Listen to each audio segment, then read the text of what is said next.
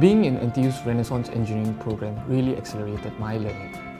Its curriculum integrates engineering with both business and liberal arts, stretching me beyond a regular engineering course. After my internship at Carl Zeiss, I decided to join the medical device industry with the goal to help the sick through utilizing my engineering knowledge. Today, I'm a graduate design engineer at ResMed, a global manufacturer of medical devices enjoying a meaningful career in creating the best medical devices that improve the quality of life. Having a bond-free scholarship has really given me the freedom to discover, explore, and pursue my passion.